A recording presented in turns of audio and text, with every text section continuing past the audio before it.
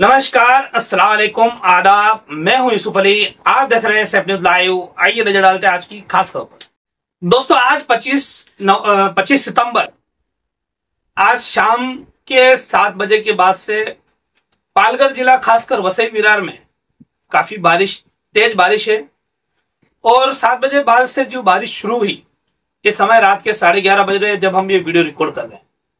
अभी हालाँकि यहाँ वसई में बारिश रुकी हुई है, और जगह का अपडेट नहीं मालूम। लेकिन जो तस्वीर आप विजुअल देख रहे हो, ये विजुअल वसई विरार के है, वसई ईस्ट वसई वेस्ट यहाँ जिस तरह से आज जो शाम के समय आठ बजे बाद जो बारिश हुई, उसमें पानी भरा, उसकी तस्वीर और विजुअल है। आज तो इतना इस काफ़ी तेज बारिश हो ही रही है, साथ ही साथ पालगढ़ जिला प्रशासन द्वारा अलर्ट घोषित किया गया है भारतीय हवामान खाता आईएमडी ने कल ही जो अलर्ट जारी किया था तीन दिन का, उसमें कल 24 तारीख को पालघर ज़िले में येलो अलर्ट था। आज ऑरेंज अलर्ट की स्थिति थी और कल के लिए रेड अलर्ट घोषित किया गया। रेड अलर्ट है और भी तेज बारिश हो सकती है। तो आप सभी दर्शकों से निवेदन है कि अगर बहुत ज़्यादा आवश्यक काम नहीं है तो अपने घरों से न निकले।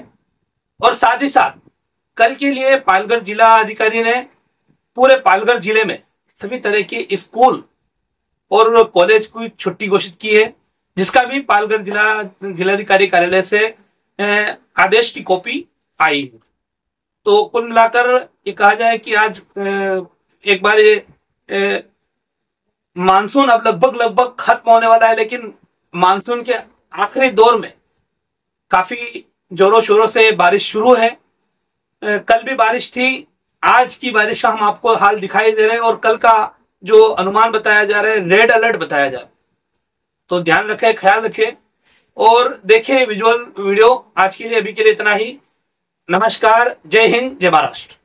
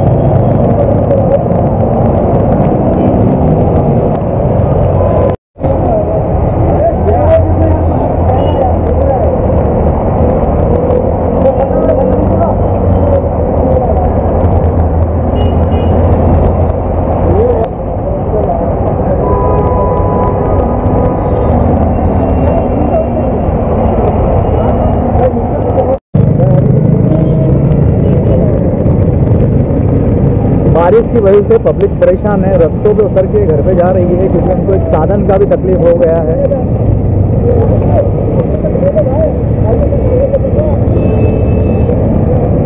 हमारे चैनल सैफ न्यूज़ लाइव पर अपने व्यापार और सेवा से संबंधित विज्ञापन प्रसारण हेतु दिए गए मोबाइल नंबर पर संपर्क करें।